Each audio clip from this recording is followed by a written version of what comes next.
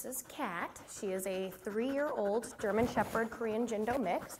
Um, she's about, I'd say 40 to 50 pounds, a nice medium-sized dog. She's got this gorgeous, gorgeous coat with really beautiful markings, kind of this auburn, auburn color. We're almost hair twins. Um, and she is a really lovely, active three-year-old dog.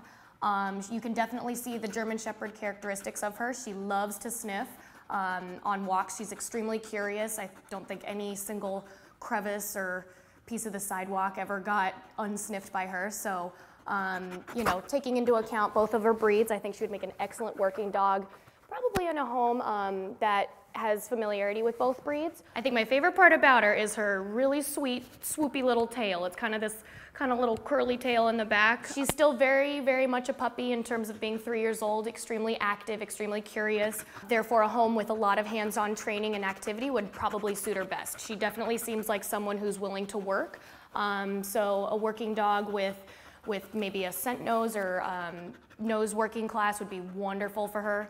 Um, she knows a few basic commands. She knows sit and shake, um, and she takes her treats extremely well. Um, she plays extremely well in the yard as well. She's very good about catching the ball, playing fetch, and bringing it back.